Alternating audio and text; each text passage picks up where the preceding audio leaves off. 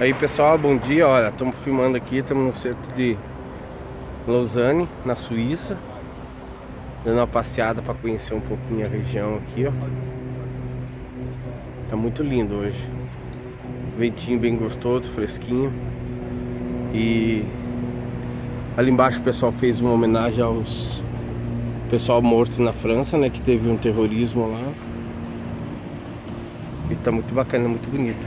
Dando uma passeada aí Valeu galera, um abraço